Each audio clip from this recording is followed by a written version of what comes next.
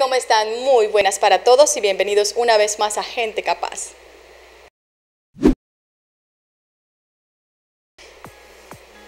Nuestra invitada de hoy es una joven comunicadora social que se ha convertido en un referente de amor propio y aceptación, fundadora de La Moda a tu Talla, una iniciativa con la que ayuda a mujeres de talla grande a verse y sentirse bien sin importar su peso.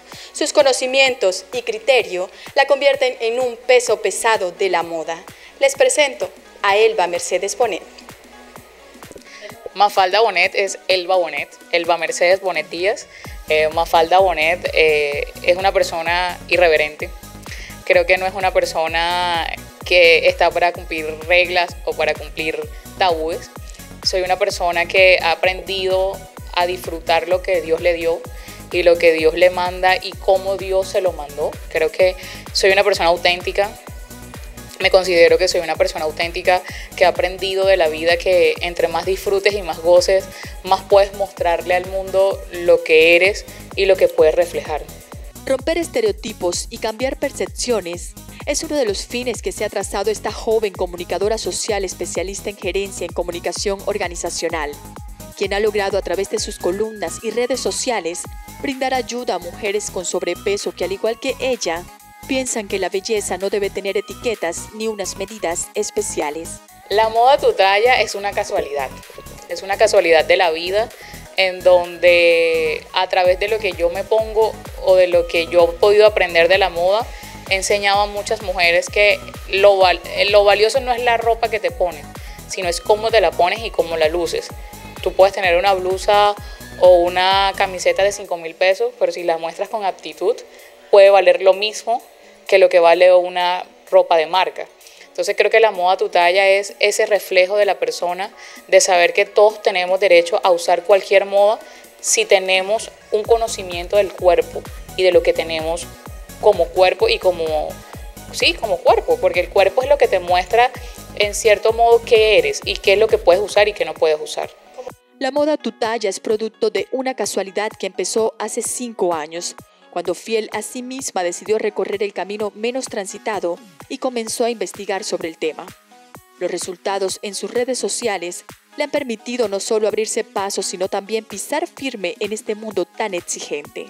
Yo comencé a montar eh, fotos mías en las redes sociales, en Instagram, para ser más exactos, y, y a montar fotos, fotos, fotos, fotos mías, y la gente comenzó a preguntarme que si podían ponérselos, que como, porque yo me ponía ese tipo de ropa y ella y la otra persona siendo gruesa no lo podía hacer. Y creo que fue una casualidad muy bonita, o es una casualidad muy bonita, que se ha vuelto en realidad. La moda tu talla es un espacio donde la gente puede ver a través de mí cosas que no ven a través de un espejo. Me, una vez una persona me escribió, una chica me escribió que gracias a mí ella se pudo poner un vestido de baño. Entonces hay cosas tan pequeñas que tú dices como que vean, o sea, ¿qué estoy haciendo bien para que esa persona lo haga? Y creo que es una forma de mostrarle a la gente que uno se puede aceptar como es. Incentivar a las mujeres a mostrar la belleza que hay en la esencia de cada una de ellas es el objetivo de Elba Bonet con la moda a tu talla. No estoy haciendo una apología a la obesidad, solo estoy diciendo a la gente acéptense y quiéranse como son, sea flaca, gorda, bajita, alta. Eh, creo que los estereotipos del mundo en el estilo de moda han cambiado y creo que si vemos cómo está la moda en estos momentos, ya te sacan, ya Barbie te saca una, una Barbie gordita. Ya Barbie te saca una que tiene problemas, ya te saca la del pelo crespo, ya viene la Barbie negra. Entonces, marcas como esa nos han mostrado que ya estamos en un cambio y que el tema es aceptarnos y aprender a conocernos eh, físicamente y así reflejarlo y poder reflejar el interior. Aunque el tema de la aceptación parece ser algo sencillo, en su caso, antes de disfrutar su condición, tuvo que experimentar varios procesos. Yo peso 100 kilos y mido unos 60. He pasado por todos los procesos. Yo fui operada del estómago, eh, eh, me adelgacé.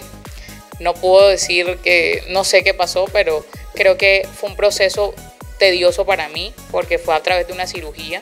Entonces bajé muy rápido, tuve a veces problemas y creo que entendí que, que soy así, o sea que que la obesidad sí es un problema porque es un problema de salud, pero como, como te contaba, yo entreno, yo voy al gimnasio, de pronto sí me encanta la comida, pero trato de cuidarme días de semana. La obesidad para mí, la verdad, no ha sido un problema porque, entre comillas, soy una persona sana, pero sí he tratado de manejarla, de no llegar a un extremo como llegué cuando me operé en ese estado, pero creo que he aprendido a convivir con ella y creo que por mucho que yo adelgace siempre voy a ser eh, gruesa, no es un tanto de, obesidad sino más bien gruesa y creo que la aprendí a disfrutar. Pues como digo, no estoy diciendo a la gente que está bien ser obeso porque no está bien, porque eso es un tema que acarrea mucho peso. Gracias a Dios yo he sido sana y no he tenido problemas de, de salud severos, pero tampoco estoy de acuerdo que la gente la critiquen o le hagan bullying por ser obeso. Hoy es una convencida de que la moda, más allá de las prendas de vestir, es un reflejo de la visión de cada persona hacia adentro. Por eso es fundamental tener en cuenta ciertas recomendaciones. Que se acepten, que se acepten y se conozcan. Cuando tú conoces tu cuerpo, tú puedes aprender a, ver cómo vestirte y cómo verte bien. Porque a veces la gente no, no ha entendido que la moda sirve hasta para verte delgado. Si yo por lo menos yo soy bustona, pero si me pongo un cuello en B o una bandeja, el cuello mío se puede ver más delgado. Yo soy cara delgada, entonces yo me puedo poner una cuello bandeja y la ilusión que va a hacer esa blusa es verme más delgada. Sé que eso lo aprende uno cuando uno conoce su cuerpo.